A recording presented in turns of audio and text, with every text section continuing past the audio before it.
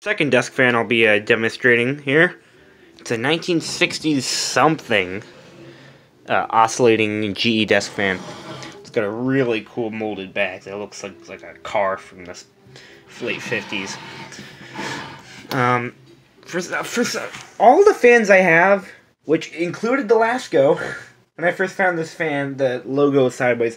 Every single fan I find has the logo sideways or upside down or something. It's never perfectly straight. And the only one I fixed was for this one because it looked pretty much brand new otherwise. All the other fans I have, they look old. And when they're beat up, I like to have them keep the character that they kind of have. So I just kind of left that there. Also, I don't know how to change it. So let's turn on. You can adjust the height of it by doing a screw and then it uh, changes the uh, height of it. And apparently you can like hang this onto the ceiling because it's got like a hook there.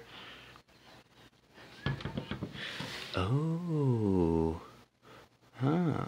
I could hang it from the ceiling. I should try that someday. Well, anyway, here it is turned on.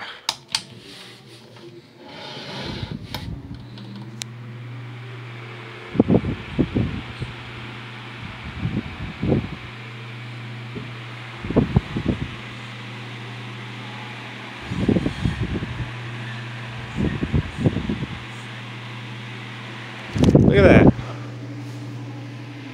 It looks like it goes further that way, but I think that's an illusion.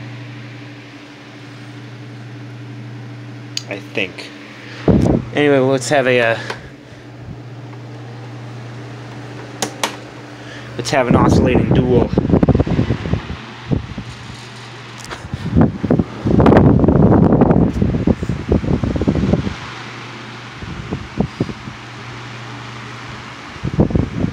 Fight!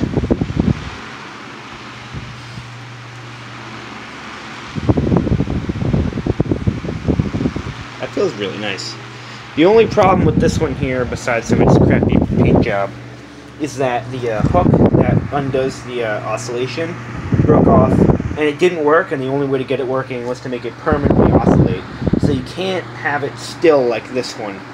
So, like, I'd use this one if it, um,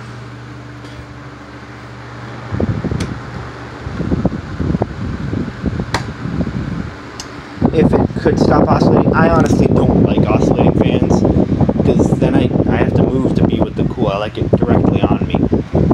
So, uh, there it is. This 1960 something GE fan. It'll be cool for like a detectives thing or something if I ever make a video like that. There it is.